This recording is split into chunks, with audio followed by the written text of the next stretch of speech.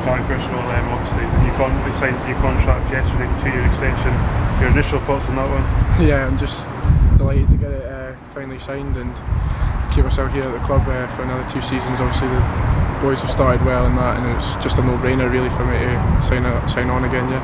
Yeah, it seems like a real good uh, positivity about the club at the moment. Uh, what sort of the key uh, decisions, uh, to, key factors to sign to sign the contract? Uh, just obviously, I think the whole vibe around the place, and I'm happy here and stuff like that. And the boys have obviously started really well in the league, and uh, it was just really a no-brainer to sign on again. And obviously, since the Gaffers come in, we've done well, and there's a lot of positivity about the place, a good group of boys and everything. So I'm just delighted, really. Yeah, um, Roddy, like Roddy MacGregor and Mark Ridgers, they commit, obviously recently committed their future as well to the club. So it's good to see other players invest in, you know, also you know long term.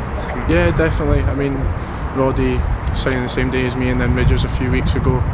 Um, getting their deals signed and it's good. Obviously, great players as well, and it's a good group of lads, and started really well, so can't complain. And just it's good building for the hopefully trying to get promoted this season. Obviously, a proud moment for you on Saturday, first goal for the club. Um, yeah, talk us through that one. Yeah, definitely. I mean, don't score many. I think it, has been a while, and uh, it's been a good week for me. Obviously, getting my first goal for the club. Uh, that I've come through at the only club I've been at, and then obviously getting my new deal signed. So it's been a really good week for me.